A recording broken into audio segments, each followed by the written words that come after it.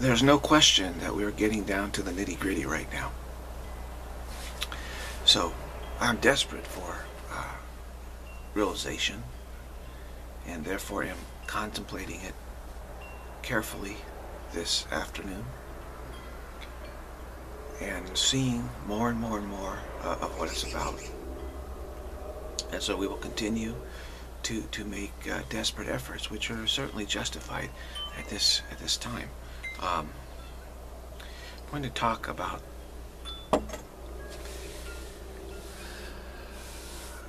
linear versus horizontal versus vertical. This flower here is, is representing the vertical. Vertical represents uh, the truth, which is true right now. The horizontal represents time, represents a lie. See, truth doesn't need any any time to be what it is. It's true right now.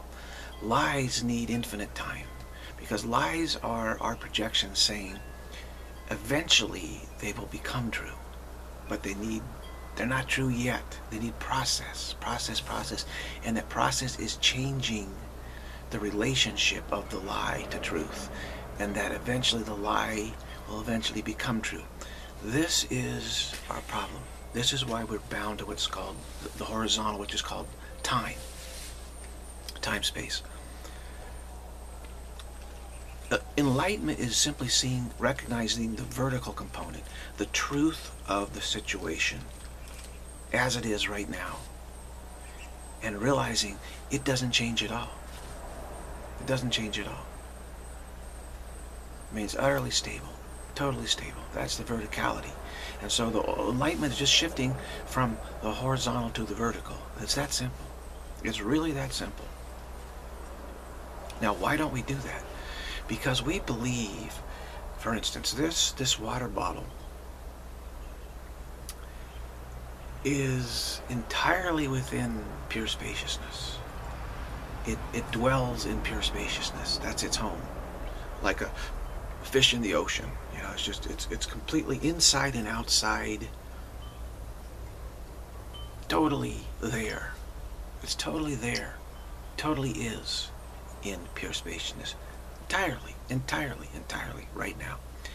Now, what time does the lie of projections, of appearances, thinking that they can become a, a, a separate new creation. We're trying to create separately from God through our projections. We say that, sure, it's it is in pure spaciousness right now, but in the next moment, its relationship has changed to pure spaciousness. Its relationship has changed. Its locational time-space relationship. It's now an older glass. You see what I'm saying? This is a lie. This is the, the deception. It hasn't changed its relationship to pure spaciousness, to truth. The truth about where this bottle is never changes. Because zero dimensionality, non-localized, pure spaciousness is omnipresence. And nothing changes its location, changes its relationship to omnipresence ever. But our claim is that our projections are changing their relationship to truth and every moment and thereby engage in some sort of process and we need to wait to see what the outcome of this process is now we we want it to be that our projections become real, become the new eternal life, become a new, new life, a new creation, and therefore that we will be prime creators. We didn't need God to be prime to create. We create on our own. But the fact is, this is not true. This is the self-deception. So when we look at everything uh, in the linear, horizontal way of time and space, we feel that everything is engaged in a process of changing its relationship. But actually, the only change in relationship is, for instance, we have a vase here and a glass here. Now, if we if we move them like this, it's appearances changing their relationship to other appearances that is taking place.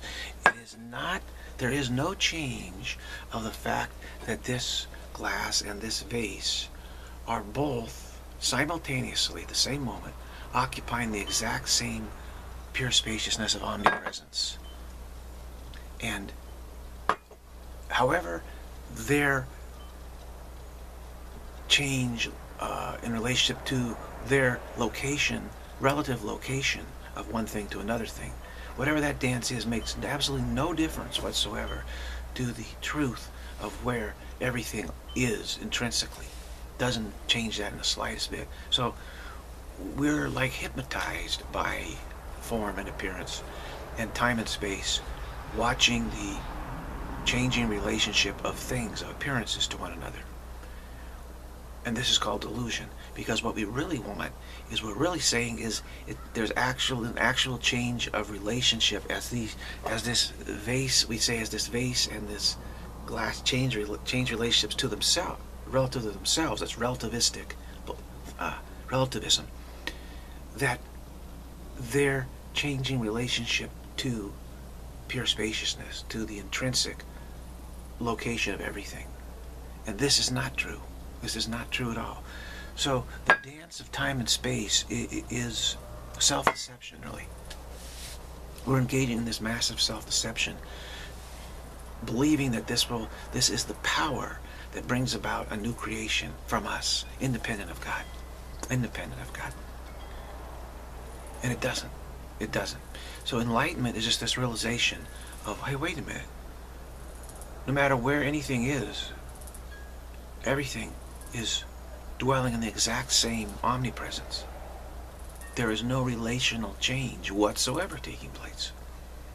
This is Satori enlightenment, getting it, waking up, vision of oneness, vision, holy, holy vision of oneness. It's all the same realization, really. It's just going through the vertical. It's going through the vertical, which doesn't need the horizontal to be vertical, right? It doesn't need it.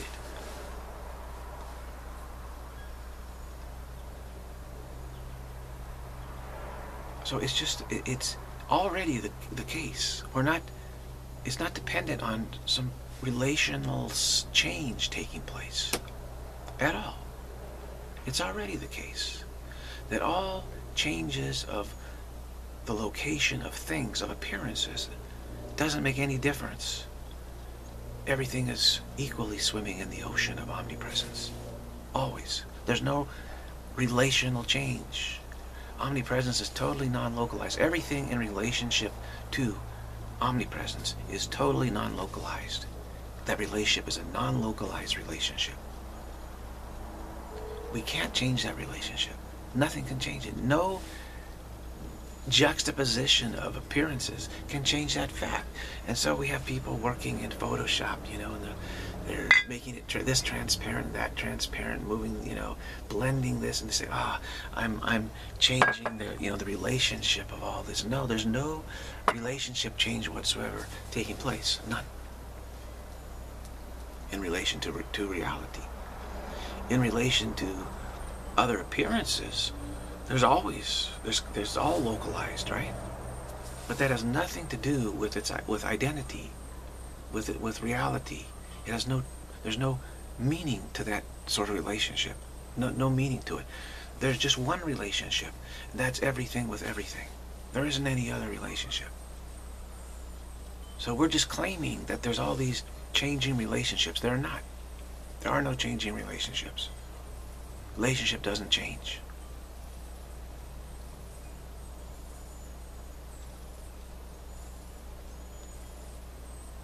So I'm asking the help of, of all the great teachers right, you know, right now.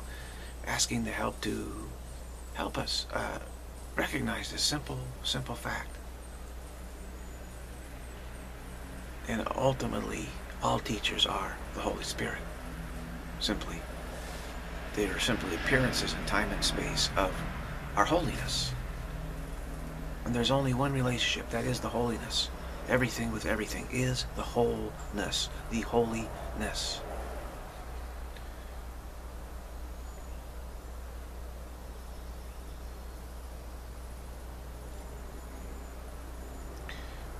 So all we have to do is decide to see things in the vertically instead of horizontally.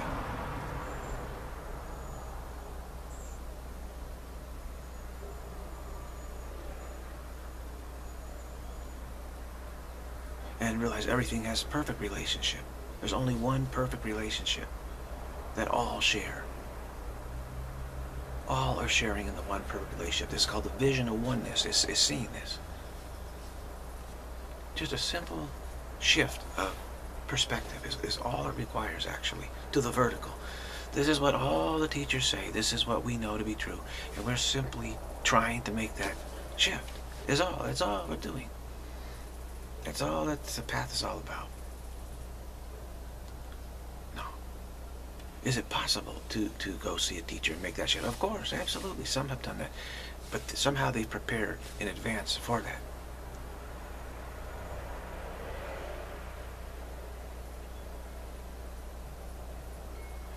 But at this point, it, it, it, it, it seems like impossible that we it could need any preparation. It's so obvious. so how could it have taken so long? Is, is that's the great mystery, isn't it? We think we need to solve the mystery, but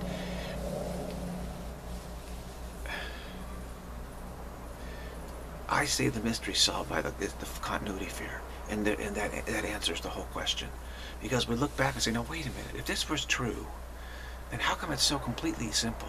It seems so easy to do, and yet I haven't done it for all this all so long. Why? Well, a continuity issue, continuity fear. But it really boils down to our own desire. We, we wanted it to be true. We wanted to deceive ourselves. We thought we, through deception, we could give rise to a new, new life, a new creation. And so we've been invested in this for so long and to re realize that there are no relational relationships. There's only the one relationship. That appearances have no relative identity or relationship whatsoever. That's a, a big, big realization for us to digest.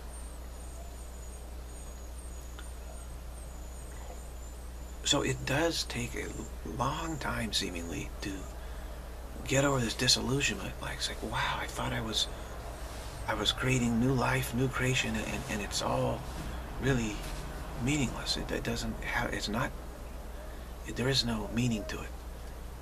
The, hor the horizontal doesn't have any meaning at all. And I spent all this effort, you know, and care, and, and, and like, wow. And it's, it's, we kind of have a, a, a What's the feeling uh, that it is here? It's like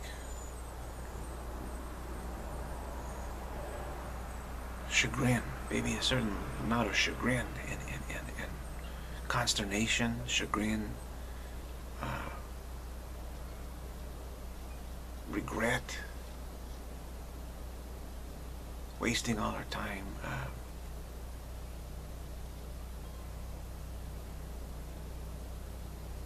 we just kind of shake our heads like, wow. I thought I could just overlook reality and that would be, you know, it doesn't, didn't matter.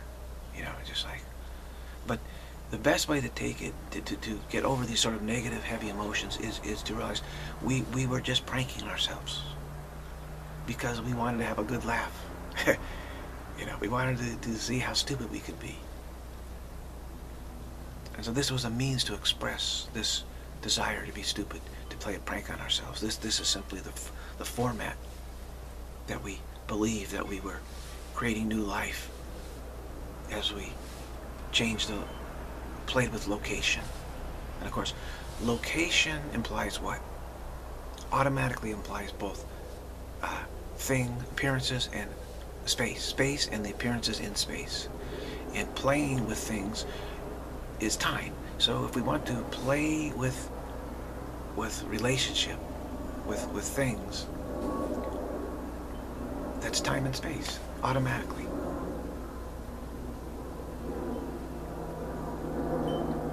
If we want to overlook the one relationship, automatically then there's nothing for us to do but time and space. Is relativism. Relativism is time and space. Overlooking pure spaciousness. As if it didn't matter. As if it didn't matter.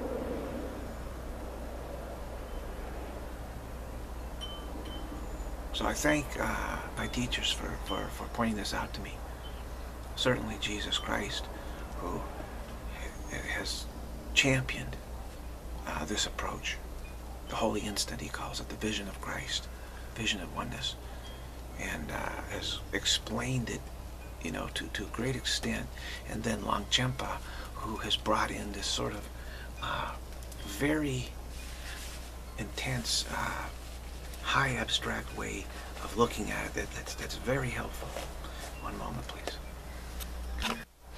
Okay, so let, us take our time on this. Let's not abandon this too prematurely. Uh, Longchenpa, I found very helpful. It gave, gave sort of a, a condensed perspective. I saw it was possible to speak of this in a very condensed way, which is helpful. So we can dispense with most verbiage. You start out with a lot of verbiage because we, we that's our belief in this relativism. Words are you know words are relative to other words, right? It's our it's our desire to create without God. Therefore, ignoring the, the, the fact of pure spaciousness of, of God, omnipresence, and then believing that relation relationship between appearances, location, which location means a thing in space, and the necessity for this relationship means time, right? to change relationship, the locations, time, space, is based on our desire for, for saying that there's location. Some location is, is, is relative to some other location. To say location at all actually is relative because it means it's what in distinction to somewhere else, right? Well, I'm located here it means I'm not here, not there. I'm here, not there. Whereas in omnipresence, it's non-locational. You don't say, well, I'm here. I, you say, I am, you don't even say, everything is here. Everything is here. There's only here. So, lo location is actually time and space, and appearance in time and space. We, we're so uh, desirous of this, thinking that, that it's, it's going to result, this process is going to result in a new creation, that any sort of teaching we're going to pay attention to needs to impress us with the potential of a lot of relationship changes, a lot of processes. So even when you teach the truth to, to those who are very heavily bound by their desire to create a, a new creation and have a lot of continuity fear about giving it up, you need to have a lot of words, a lot of words. So, for example, Jesus in A Course in Miracles gives a ton of words. Oh my gosh, how many thousands of pages is it? I don't know. I can I can even check on that. Uh, let me see. I'll just show you how thick the, the book is. and that's very comforting to people. Very, very, very, very, very, very comforting. Uh, they give different page numbers for the workbook and um, let's see. The text has six hundred. Has six hundred and sixty-nine pages. The workbook. has about five, about 400. Uh,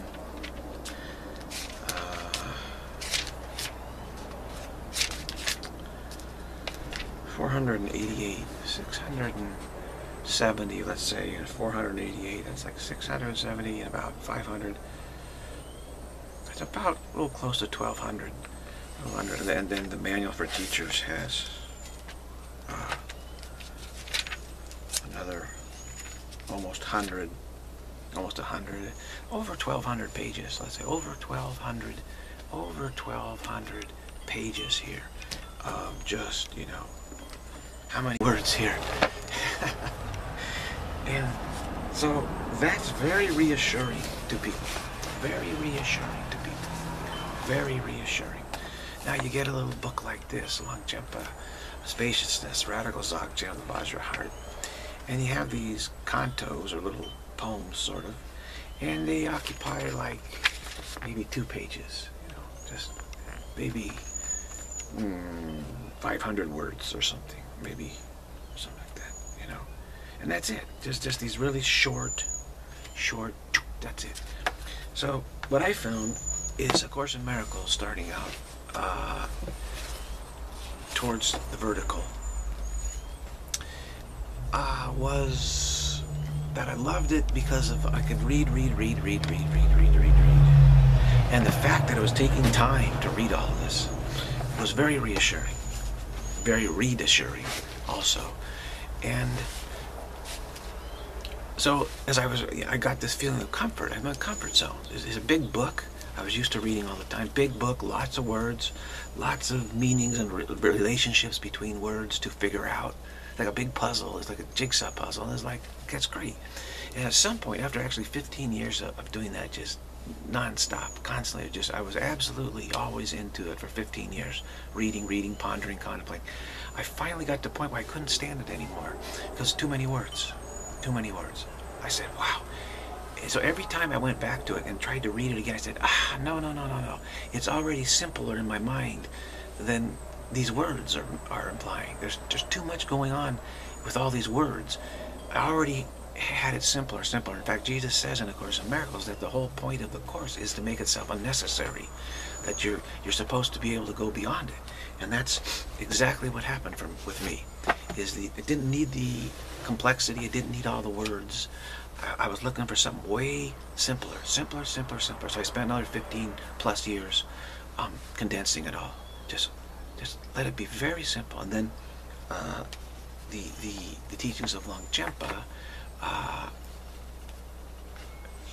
I saw, oh, it is possible to present it in, in, in, in a nutshell and get it. I said, oh, I get it. Yeah, it's very, I, I understand that. Easy because there was less need for time, right? I get it like in a, like a, minute or two as opposed to 15 years. So, uh, A Course in Miracles was super helpful as a transitional teaching, transitional book. The teaching is very simple there. Truth is true, nothing else is true. But the book itself is a transitional from the desire that all these relative changes in location of all appearances have some meaning in our process going towards something meaningful. To go from that to realizing no, nothing is meaningful is taking place in all the changes that are taking place in appearances. It, you need a transition there. You need a transition. If you try to do it too fast, you, you get you get into a weird. If you try to read something that's too condensed, when you're not ready for it, you're going to spin it into something that it isn't. And this is the problem with a lot of uh, religious teachings, is a teacher, a great teacher may teach something very simple and easy and profound. And people say, whoa, whoa, whoa, whoa, we need a lot of time. See, we're used to a lot of time because this process we're trying to make projections true takes infinite time because it never becomes true. So we've been using so much time, we're so used to time, we say, ah, that's too quick. I'll get it like this. I need 10 years, 20 years, 1,000 years, 2,000 years to work on this. So we put it right back into the context of time, space, location, relative locations, process, generating some sort of meaning. And the whole teaching is to tell us that we need to be free of that. So it's a weird thing, right? It's a weird thing that we have going that the teaching that tells us that that has no validity whatsoever, that process and time and space, appearance and location have no validity whatsoever. We say, well, we need a lot of time and space and process and changes location in order to verify that it has no validity. and that's why it takes so long. But when you're doing it right, you go from the big books and you gradually less and less dependency on those, go much more condensed and condensed. Now, the intellect will say, well, I want to show how smart I am, that all this process uh, has been paying off and I'm getting really smart. This projection, projections will say, okay, so let me just read the condensed stuff and I'll get it. I should be able to get it like that. And they say, oh, yeah, I got it. but what does that mean? That that nothing got got something? No. It's spirit that needs to get it. So that doesn't work. It doesn't really work that way. So the turtle wins the race in, in the spiritual path. The rabbit doesn't win the race. So you've got to be that tortoise. You've got to be the one that really carries that heavy shell, you know, uh, uh, along for quite some time. As you go along, the shell gets lighter and lighter and lighter. But you do, to really get it, it's, it's important to start out with a lot of words first. But where the potency of the truth is there, but the comfort of a lot of words is there.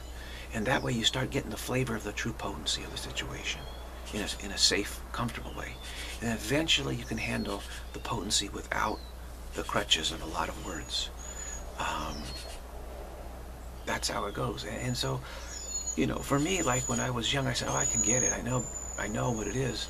Intellectually, I said, it's easy. I just don't get it like that. I can explain it. But the continuity fear, the overall total desire and intention of this of this projection, this world and all the projections, is that we keep using time and space and process. That's the that's the sacred mandate of this world from our perspective. And so to get it right now is is, is blasphemy, you know. And so you just feel like you can't really do it. And almost nobody does, really. So you got almost no choice for people eh, but to spend some time working on it. And then you'll feel, okay, I'm, I'm, I'm, I'm not a total renegade. I'm not rebelling against anything. I'm, and it just, that's how it works out here. So the, the, the, the real smart people who are really smart recognize that, that they have this burden this cross to carry and they get after it and they, they start studying and they do wrap their, their the truth up in some time and space and location and words. And they they go through that. They put themselves through it knowing that th this is how you really shed the whole thing. Unless you're just a you know super advanced pure intuitive super advanced uh, which we all are, we're all spirit anyway, but if you've done it another lifetime, then you can come into this world and just say, ah, don't need it. And just go to the vertical just like that. Like a Ramana Maharshi, he just went vertical. That's all he did. Just said, okay, uh, I'm, I'm, grown, I'm grown up enough now, I'm like, what, 16 or 17, and uh, had my schooling, done everything that, that is expected of me, the basics, you know, as a dutiful child. He said, okay, now I'm just going to lie down, go vertical, poof, done. But you see, that's the uber ultra, super rare, rare, rare situation of somebody who must have either been an expression of God's grace, an avatar, or someone who's done a tremendous amount of work in previous lives. Anandamayi Ma was an avatar. She had never fallen into delusion. So she said, don't take my situation as a model for you at all. She's very adamant about it. Don't take my situation. No, no, no, no, no, no. I'm not a guru. I'm not like a, like a, no, it's different. So you can't, you can't, you can't base it on that whatsoever. You Have to base it on pragmatism. Pragmatism. Shankara, the great teacher Shankara, told everyone, listen, I don't care who you who you are, whatever position, you got to dedicate your life to it. You got to be serious. You got to have a culture of spiritual practice. Otherwise, you won't succeed. Now, you may get it fairly quickly, or it may take you a lifetime or two or whatever, but you won't get it until you really get after it in this way. And that's the way that all the great teachers have, have, have told us. They've all told us the same. Buddha, Jesus, all the Tibetan masters, and throughout the Christian saints, throughout all the Islam, Islamic saints, and throughout the whole history of, of uh, this this situation here. Those who've gone vertical tell us, okay, it is a simple shift. It is a simple shift. But to us, it it, it'll seem like we're losing everything. We're losing all the, the relationships of time. You see, so we feel like we're jumping into an abyss. As Longchenpa says, most people feel that they're jumping into an abyss. But actually not. You're simply realizing there is no abyss. You're simply recognizing what we've been refusing to recognize, which is omnipresence, which is complete absence of any abyss, total presence. And that that's not affected in the slightest bit by this belief that's not there, so we can indulge this this belief that these, these cha the change of location of appearances somehow signifies a change of relationship with truth. They're just indulging this by overlooking the total lack of abyss. So we feel there's an abyss. We feel like without these relationships and relative relationships of things and appearances, we would have nothing but an abyss. This is not true, but the fear of this is so strong because we, we've just been overlooking pure presence, overlooking it to fulfill our whim, to indulge our whim. We've just been overlooking it. So this is what requires careful, careful examination because the fear is so intense of this abyss. Continuity fear also. It's sort of this just constellation of continuity fear. Like, whoa, what's going to happen? I'll be completely lose all my relationships. You know, that kind of thing. All my socialization, all my relationships, everything I believe was important, all meaning gone, gone. You know, it's terrifying, right? So of course you have to study this surrounded by a lot of words to reassure you. Say, at least I have the relationship of words, you know. At least those aren't leaving me. it is difficult. There's no mistake about it, which is why I, I'm a big advocate of a culture of practice in the world. That right society, civilization is a culture of practice. There's no other way around it. There is no shortcut, really. There really isn't. That is the shortcut. That is the shortcut. The whole fast food thing, you know, fast food spirituality thing, cannot rely upon that. No, I don't think any great teacher is going to say rely, you can count upon that. No way. They never have. They never have. So, uh,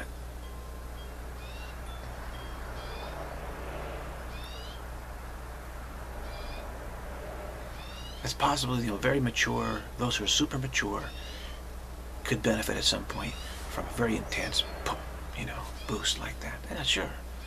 All that is possible. But don't count on any of it, really. Don't count on any of it. Count on your slow, steady effort of gradually recognizing you don't need gradualism. it's meaningless gradually recognizing you don't need gradualism. It, it has no value.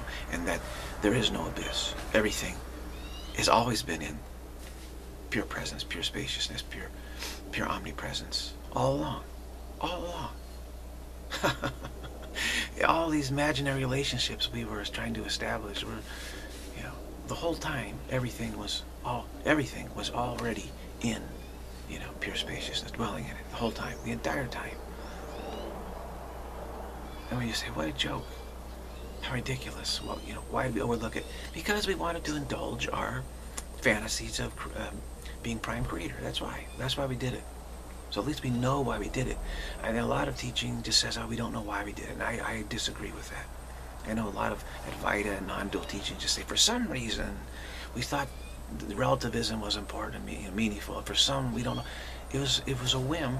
We wanted to see if we could create separate from God. We wanted to see if we could be a prime creator like the prime creator. We said prime creator gave us all power to be like, to create like the prime creator, but the prime creator extends. So that means we need to extend the totality.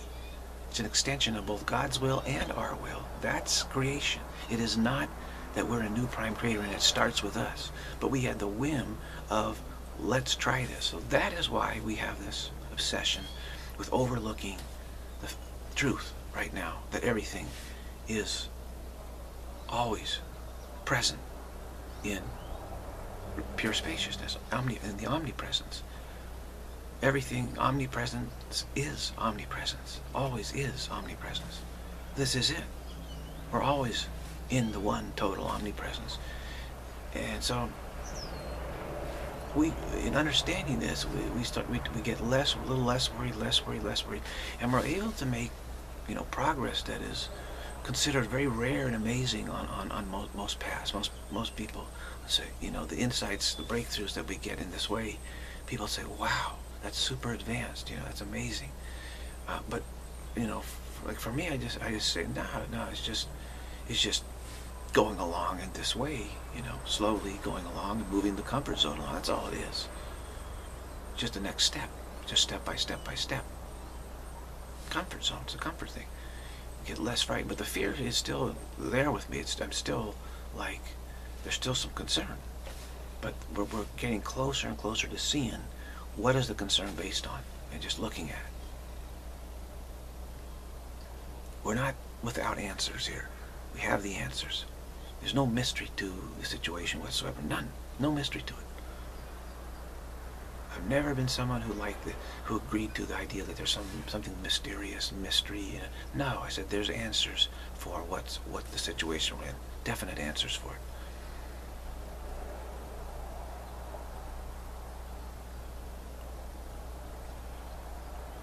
And then this takes a lot of pressure off of us a lot of pressure thinking we need to leap into the into some mystery or something. No, there's no mystery. There's no mystery at all. We've just been willfully overlooking the obviousness of everything, the situation. Just willfully, whimsically indulging our desire to be prime creator. That's all we're doing. That's Nothing else. Nothing else. There isn't any deep, dark, hidden mystery anywhere.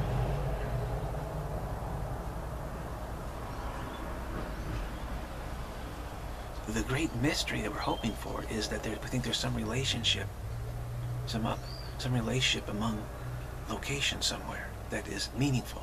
That's what we're hoping for. That's the great mystery. You say, you know, somewhere there's this great mystery. No, there isn't any. There's no great mystery.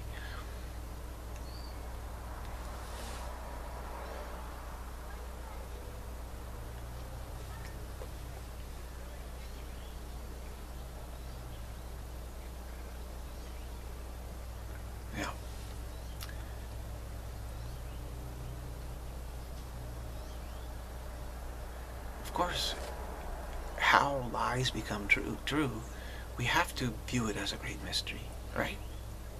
Because it never happens. So as long as we want to indulge this whim, we're going to spin it as if there's some great mystery up ahead. And we just haven't discerned it yet. We haven't got there yet. It's like at the end of the rainbow, there's this great pot of gold. And that's what we're telling ourselves, that we're moving towards this real, understanding this great mystery of relationships. there is no great mystery. There's never been any mystery at all. But how can we indulge our whim without believing that? You see, it's a necessity. All of these, this craziness arises as a necessity to entertain this, indulge this whim. To entertain this whim, we have to have this time, space, things, and this great mystery of how it's all going to work, how it's all going to work how this is eventually going to be a new creation. It never does. It never is going to be a new creation. So there's no mystery. There isn't any ending to the movie in some wonderful mystery like that. No. So, seeing that, we, we say, well, then let's just recognize pure presence right now. Why, why should we wait for some great mysterious ending when there isn't one? There isn't. There never is. There's never any more meaning between a relative appearances, location of appearances, now as there is a million years in the in the past or the future. It's always no meaning. No, no real meaning. No real relationship. Always. And yet, at the same time, everything is all always in the one relationship. right now, They'll always be the same. So why, why, what are we waiting for? Is the question again. What are we waiting for? Well, we're waiting for to get a hint of the great mystery. Like, how is it, you know, how's it going to turn out? How's this great mystery going to reveal itself to us? It never does. It never does. It's not there. We're just playing with symbols. Just moving symbols around and claiming there's some sort of relational change some sort of meaningful relational change. There is not. There's no meaningful relational change taking place in time, space, and appearances. None.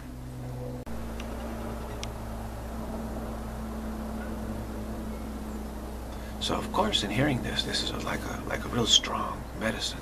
It's very strong medicine here for those who have really put in the work. You know, that's what they like. This is what I like. I love it. I said, bring on the strong medicine, please. I don't want the weak stuff. It doesn't do me any good. It's wasted time. Let's let's get the strong medicine right now.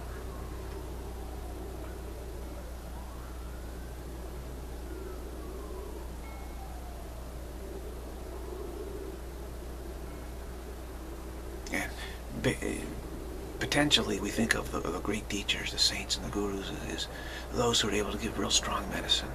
And, and, and so we hope, oh, I hope someday I can get the real strong medicine. Well, it hasn't happened for me, at least as far as meeting anyone, you know, here in this time frame. But Longchenpa was certainly uh, in this world at some point. Jesus was certainly in this world, and various teachers were certainly. So I met their words theoretically a teacher could say, you know, full stop right now, full stop. What's wrong with right now? Or what are you waiting for? Boom. And it just shift vertical, go vertical at that point. absolutely. Absolutely. It, it, it, at some point we'll, we'll shift vertical.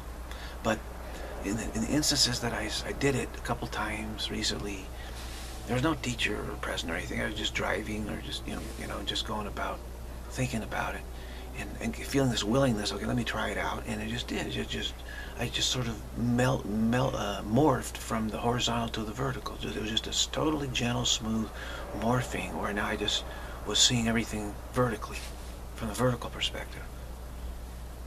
It's uh, that's simple. It was not even abrupt. It was just sort of, sort of, just, a, you know, in a few moments, I just sort of, just ah, just like an ah. Oh yeah, okay, this is it. This is it. Okay, so this is it. it's like that. Okay, so this is it. Um,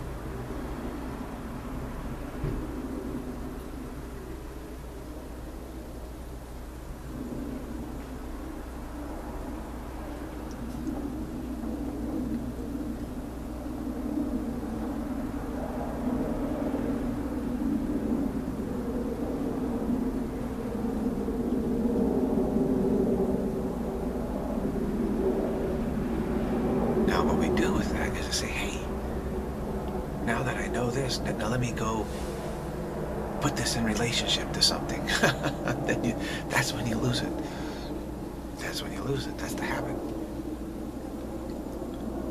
Like, okay, well, what kind of relationship does this have with, with the world or with how is this going to change, you know, over time and if You put it back into the horizontal and then it disappears. You say, what happened to it? What happened to it?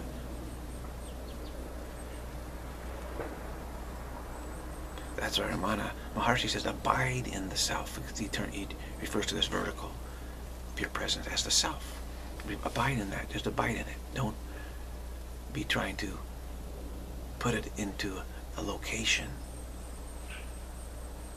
an appearance, relative to other locations and other appearances, and try to give meaning to that relativism. Don't do that.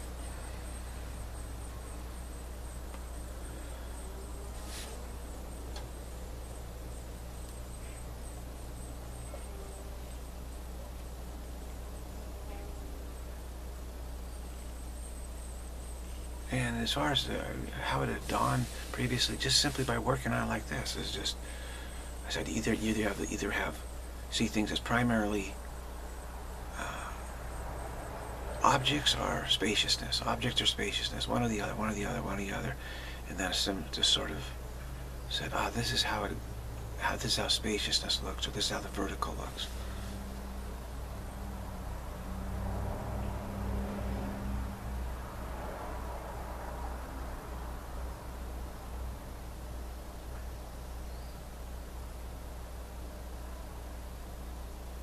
Now, you're not devoid of all motivation because you're not motivated to move objects around anymore necessarily. You still can. It doesn't have any meaning.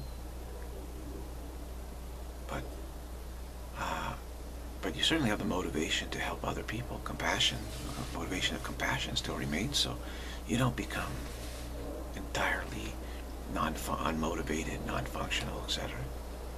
You just know that everything, all is well, for sure. We're just willfully overlooking this fact.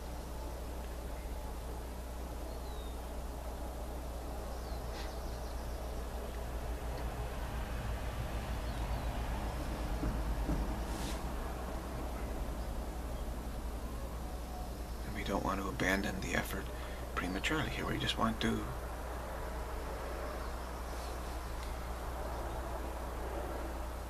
don't give up on this, this effort to, to, to make the vertical shift.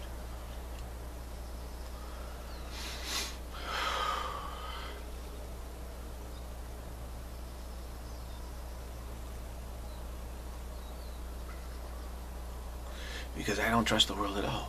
Uh, because the, the, the, you see, the desire to indulge a whim about maybe we can make a new creation without God is so intense uh, in, in, in, in, many minds uh, that they will try to establish relationship through tremendous amount of things and moving things around and modifying things as if this is all a process, relational process that is going to result, you know, in, in what we want. And when you get into a, such a situation as we are in this world, the the temptations, you know, are extreme. That's why I'm so concerned about these times. Truly, it's off the charts as far as uh, being pulled into into delusion, maintaining your your indulgence of delusion. The temptation is extreme now. Uh, it's unprecedented. Can't even measure it uh, compared to other times and places, really.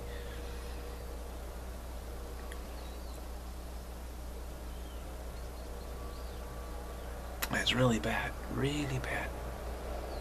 It's a mania. The world's in this manic condition, actually.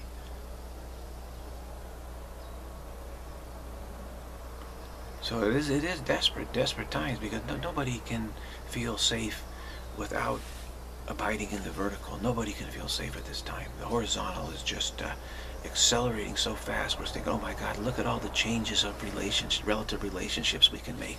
It's un unlimited we think, oh my God, you know, maybe we can become God. That's what we're thinking. Just, oh, I think I see how I can become God. But look, cause, cause, look at all this. Look what I can do with technology and, and imagery and things and how I can manipulate them and change them and move them around. And it's like, oh my God, you know, I think I see the way. And, and you get sucked into that black hole.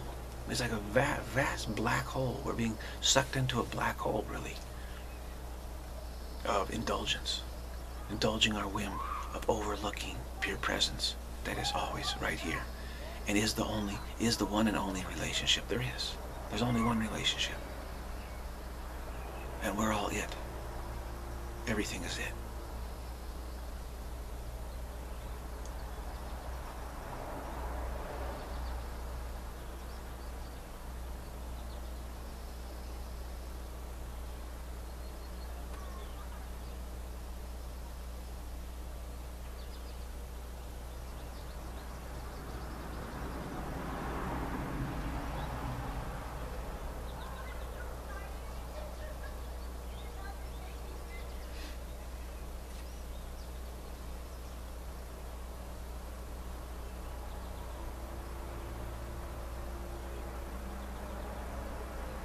There's only one relationship and everything is it.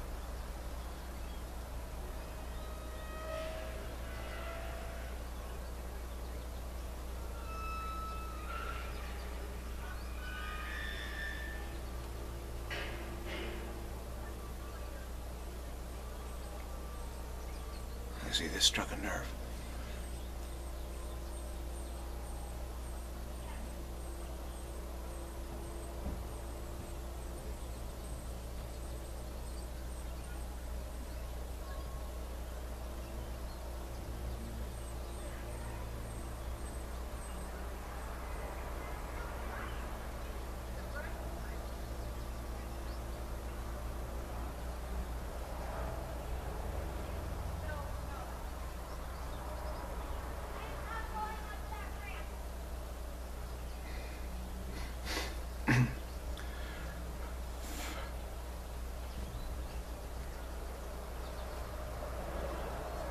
So when something strikes a nerve, you, you just take some time with it.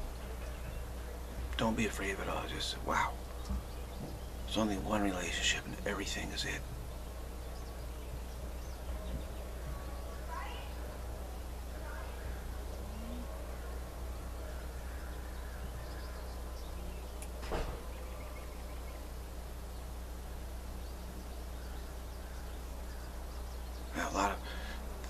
Devotees, those who are interested in the saints, the mystics, the gurus, the sages, they say, please, can you put in a book? Can you put in a book? Meaning, can you give me the reassurance of, of relativism as I try to understand, what, accept what you're saying? I know what you're saying is true, but I, I can't uh, quite let go of my belief that something's going to happen, meaningful is going to happen.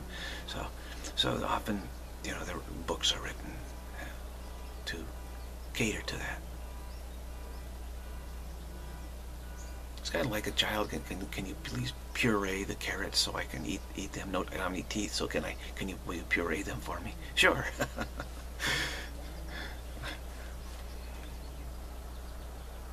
Some teachers wrote very little. The ones that went to them were very advanced. Didn't need the writing, so much writing. Some didn't need any writing at all. There's only one relationship and everything is it.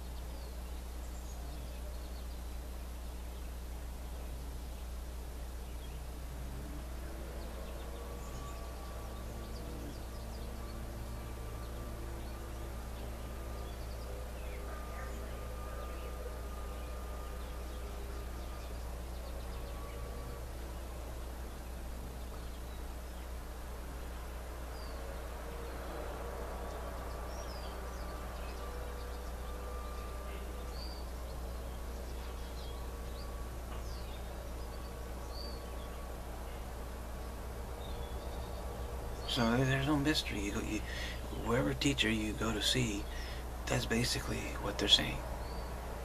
Just exactly. There's only one relationship and everything is it. In, in so many words. Uh, it's, it's all that needs to be realized. There's only the simple realization of, of being aware of the vertical. That, yeah, there's only one relationship. Everything is it.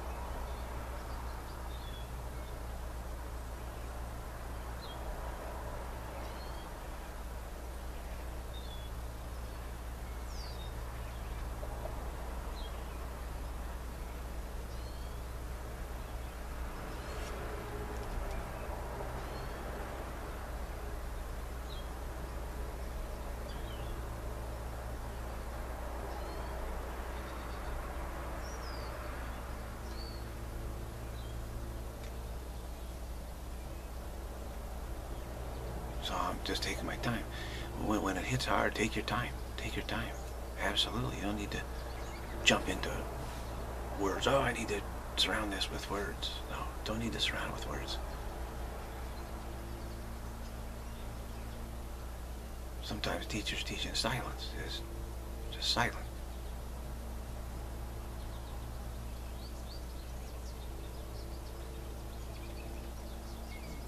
no, no relativism, very little relativism is going on, so it doesn't feed that.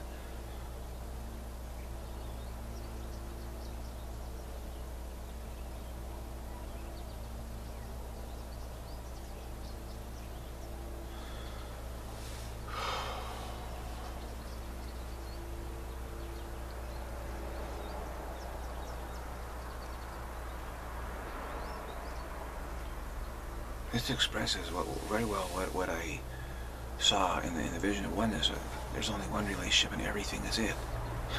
that's that's that's a very apt way to to put it into words.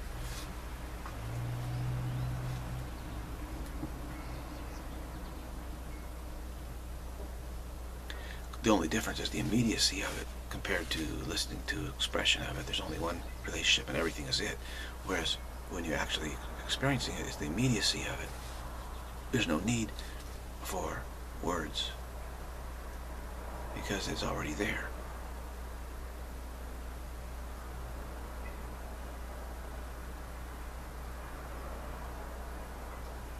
The non-relative is already non-relative. The one relationship is already the one relationship.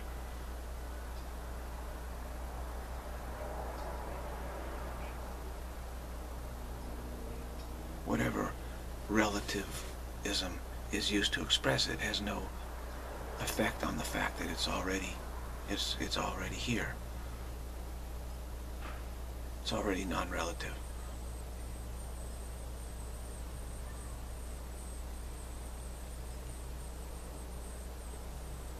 So we get to the point where we only need a few words, and that's fine. So there's only one relationship, and everything is it. Is a very good way to get to get close to it. I would say. That's what I'm feeling right now.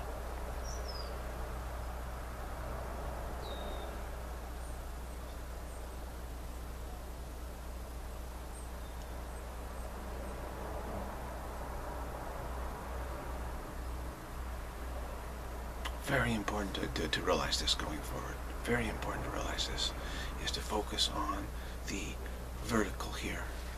And to don't, don't give up on it. Don't give up on it. We'll go back to our whim, indulgence, you know, so, oh, okay, all these things now, maybe they'll have more meaning for me now that I have got some, you know, clarity. And, and no, no, it's all the same. It's all, always the same, same, same, same. The horizontal will never have meaning. Time, space never have meaning. Relativism will never have any meaning. It's only plausibility, dance of plausibility. Well, you know, that's bigger and this is smaller and this is this is smaller relative to what is bigger and this is bigger relative to what is smaller. This is this is here relative to that being over there. And we're just assuming, assuming the birth of meaning from all this. So we're always assuming there's going to be a big birth at some point in time. We're waiting for the, the birth of our child out of the, all this process. there isn't going to be any birth. It's like a perpetual pregnancy with no birth, really, is what it is. It really is just like that. We're perpetually pregnant and there's never a birth. And so we get tired of it. Oh my God, could you imagine being perpetually pregnant? Like dragging. We're like, oh my gosh, when, when is the child going to be born? It is never born. It's never born. Then we realized the whole pregnancy was a false pregnancy in the first place. We just wanted to believe that a child was being born, so we had to imagine that we must be pregnant, even though we weren't really. It was a false pregnancy.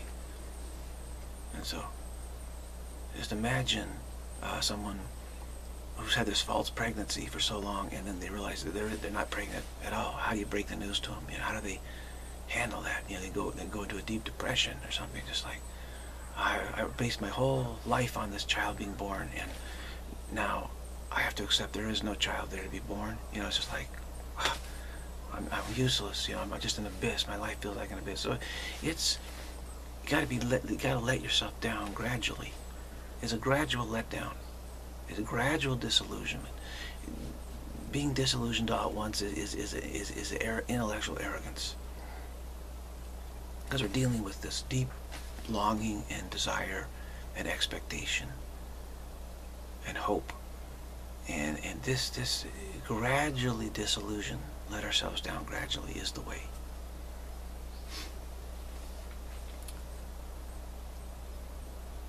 step at a time.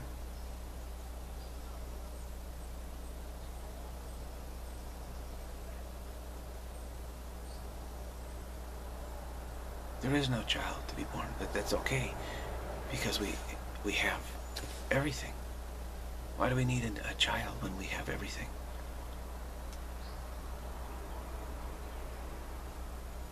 We have the one relationship, and everything is it.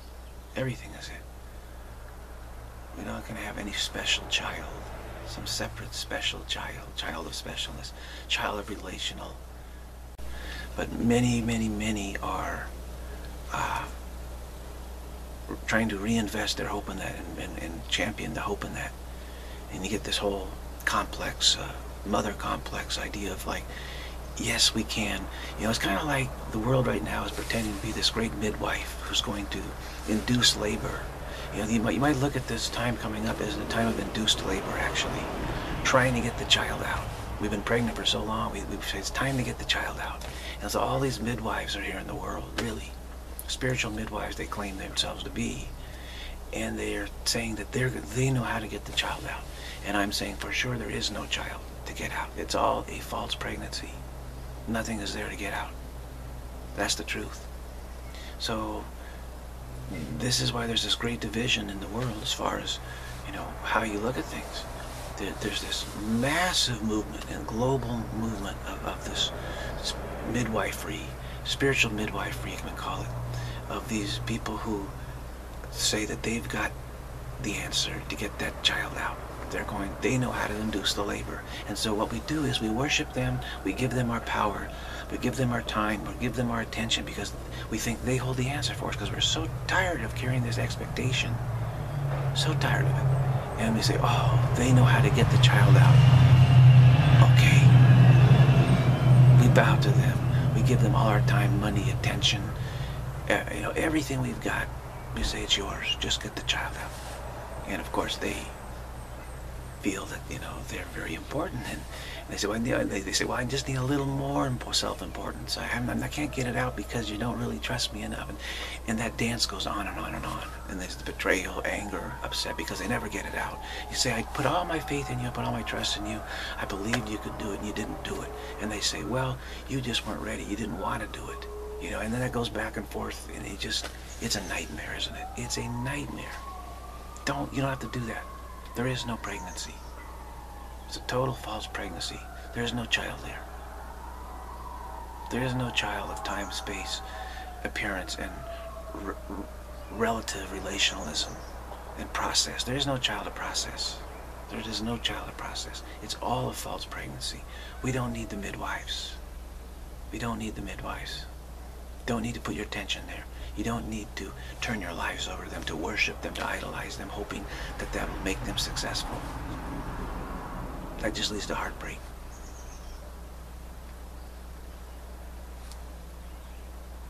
Anger, disillusionment, heartbreak.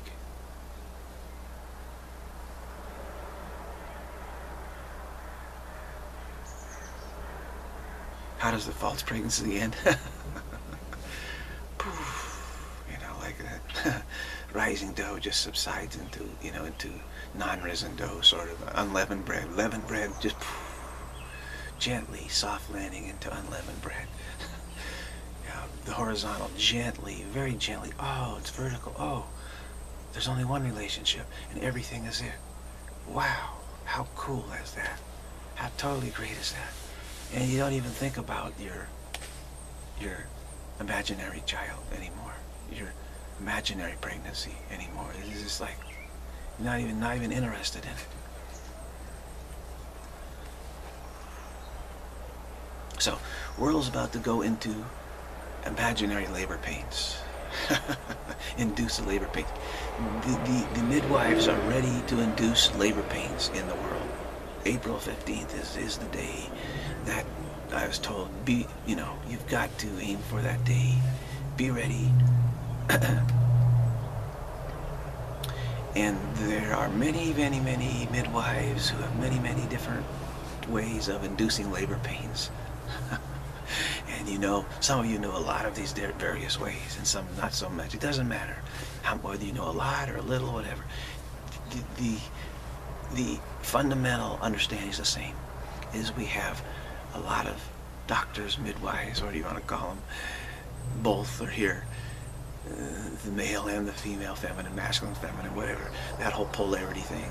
Uh, these experts in inducing labor are all here with all their techniques and they say, okay, we're going to operate on you, we're going to induce labor, and you're supposed to sit back and, and take it and thinking there's going to be a great result. There is no great result from this. There is no birth from this. There's only a mess, a pain, a mess of pain and suffering, all for nothing. And recriminations and blame and anger and guilt and punishment and the whole nine yards of the entire situation. It's just same old, same old nonsense. Totally unnecessary. But of course, everyone, everyone wants to say, oh, I'm gonna, my child is going to be born. This is so important. This is so great. I can't miss this for anything. I, I finally, finally, finally, I thought it would never happen, but now it looks like it's gonna happen. Oh, that's great, that's great. and people get caught up in that mania. We're gonna get caught up in birth manias, you know, spiritual childbirth mania in this world. There isn't any real spiritual child we can give birth to. The spiritual child that we think we're projecting is really just the one relationship, and we and everything is it. That is it. it only seems like a child to us because we've tried to forget it. And so our awareness of the way we look at it like it, it sort of gradually grows upon us, like a child would grow upon us. But it's really, it's always been exactly the way that it is.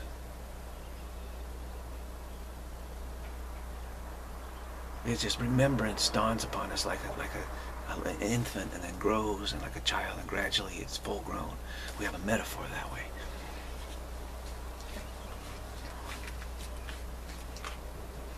So we're headed we're headed into these labor induced labor pains, birth mania. Everyone thinks they're giving birth to collectively. We're all collectively in labor, giving birth to this collective spiritual child that will prove all our efforts were not in vain, and we could we are uh, true creators in our own right and all this nonsense, all to no avail whatsoever. So don't go there. Don't even go there. Don't even flirt with that stuff because it's a mania. These people are really into it. Really, really into it. So into it that I don't really want to hang around hang around them at all. It, it's you know, it's unseemly in a certain way. You really need to be a perfect, you know, perfect awareness to really handle it with grace. It's so unseemly what is taking place in the world. I, I just find it to be too, too much.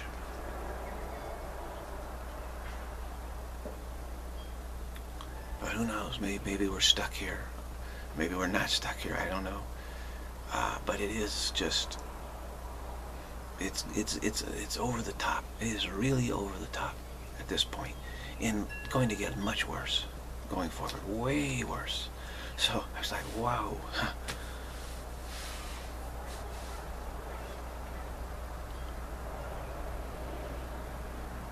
you do. It's like an older child who, who knows the, the world now, and, and they're seeing their little brother or sister, their sibling, their little sibling, and the little siblings acting in really, you know, crazy ways because they don't understand what's going on.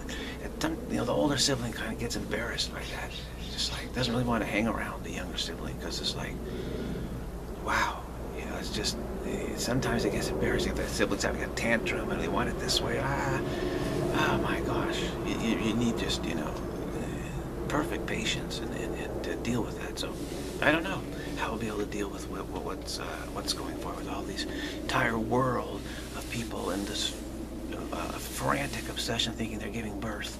They're. They're in total labor. They're going to give birth, and they're prepared everything for this child. You know, say, okay, and, and everyone's supposed to act through all their actions to prepare the nursery for the child and to get in the right attitude so when this child is born er, you know they'll be able to worship this child and, and everything will be great you know will just be giddy so everyone's expected to be to be in that giddy mood of, of childbirth when the fact there's never there isn't going to be any such childbirth at all there's no need for any nursery there's no need for any giddiness there's nothing just just disillusionment disappointment so but the world's going to demand that we be in this mood they are demanding it they are demanding it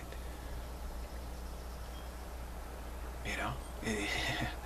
what if religious leaders say, hey, guess what? Extraterrestrials are here. In fact, we've been taught, uh, we've been aware of them for a long time, and they, they're here to teach us the true religion. What they're really saying is the uh, midwives and the doctors are here, and they know how to induce labor. So let's all do it together. That's what they're really going to be saying. That's what they're saying. So we should be already prepared for all this. The disclosure. Be prepared for disclosure. There, there have been other um, people on Earth, as we're finding out, of course. Now it's coming out as the labor, as we get ready for this, you know, the midwives to show up, which could very well be hybrid, alien hybrids, aliens, and there have been other um, life forms on Earth, humanoid life forms on Earth that are different from us. They're finding out the Peruvian skulls. They're finding out that they're, you know, these entities, these forms with very different skull skulls than us. The parietal lobe is not there. You know, the part of the skull is just two pieces. All of this is coming to light. All of this has been known for a long time. I've known it for a long time. It, it's all coming main. It's going mainstream now. And the powers that be may very well to make disclosure. Pope Francis may very well disclose that the aliens are here or that there's other life forms that are more intelligent than us. This is what we're going to be told is that that actually that the you know the various uh, the, the, the hierarchy of this planet has been working with these other life forms which are more intelligent than us and they know how to induce labor, and people will fall for it for sure. They will fall for hook, line, and sinker. But we won't, not at all. We just have a good chuckle over it. We chuckle over it right now. The, the you know, here, meet the meet the midwife. You know, meet the midwife, Mrs. Mrs. Conehead. You know, meet Mrs. Conehead, the midwife. She's here to induce your labor, doctor. Doctor Conehead. You know. So we're already already having a good laugh. We're already having a good laugh over this. You recognize this? The the bishops, the the mitre hats of the bishops, uh, mimicking the cone heads. The, the, those who had the huge skulls, huge skulls. Of course, there was they were around before, and then sort of went underground into the background, into hiding, and uh, they may very well introduce them to us in the near future. President Clinton was priming the uh, pump for all that, where he said, hey, you know, I, I think there could very well could be aliens, and if I met them, I, uh, you know, I wouldn't be surprised at all. You know, he was, he was just saying, normalizing the whole thing. Pope Francis is going off the cuff all this time, all the time now, saying shocking stuff. He's leading up to something for sure, for sure. There's no question that the, the, the higher-ups of these various orders throughout the world have known about all this all along, actually, all along. This is like secret knowledge, hidden knowledge of that there are these other beings on this planet. There's also beings from other planets. And they may very well be introduced as the, doc the doctors and the midwives who are going to induce our labor and give birth to this child of relativity, uh, uh relative relationship, etc. Again, all is all a fraud, all a scam, all delusional, self-delusion, just a dance of self-delusion, continuing on. And of course, they say, well, give us your, we got, in order to do this, you need to change the whole structure, planet money structure, economic structure, this, this, this, this. And they'll say, okay, okay, okay, okay. They say, yeah, this is, this is how we induce labor pains. These are the labor pains you need that'll induce the birth. That's what they'll kind of say. And you say, oh, Great, thank you so much. I'm so tired of this pregnancy. Eh, from our perspective, we can laugh at the whole thing. It's all, you know, this silly dance. But don't think that people won't get caught up in it. For sure they will. For sure. Daniel, I think in the Bible it says that, that, that, some alien god is going to be worshipped. You know, they call it Satan. It's this alien god that will be worshipped in the end times. Yeah, absolutely. That's likely to happen. Likely to happen. That's the midwife that we're expecting. and we're so desperate for it. We're so desperate for it, aren't we? And we think we're getting ready for it by all this technology. This is how the aliens are getting us ready for them. Well as technology. We're getting you know used to it and then they'll they'll say okay now you you you, you all have your smartphones and your apps and now we're going to give you these apps you can all use. We'll do this this this this this and we're going to help you change everything in the world change all relationships. See the problem was they'll say is you didn't have the right relational changes taking place right your location relationships. We're going to change all of that once that gets all changed, and you can all work together with your smartphones, it'll be a collective global effort. And once we make a change, ah, then the, the, the child will be born. Okay, but you're going to go through a lot of labor pains, really severe labor, maybe four years of labor or whatever, or four decades, I don't know. Uh, uh, a lot of severe labor pains, but the result of that, they say, is the birth. The birth will occur. And so you give, we give all our power to them, our decision making to them. We follow them, we trust them. says, oh, you're the doctor, you're the midwife. And uh, there will be no birth. There is no birth. There's only, you know, we, we think we've given all our power away from them, and then you have, you know, slavery. I think the cat is getting hungry. Hey, stop it. yeah, it's getting that time.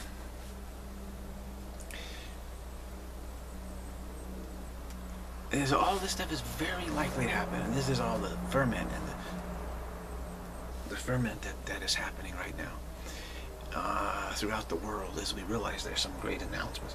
I gotta deal with this cat just a minute. Okay, he'll be back though. I gotta hop him, got rid of him for now. I'll be back. This, this is what's what's what's happening. This is what's coming. The midwives are coming,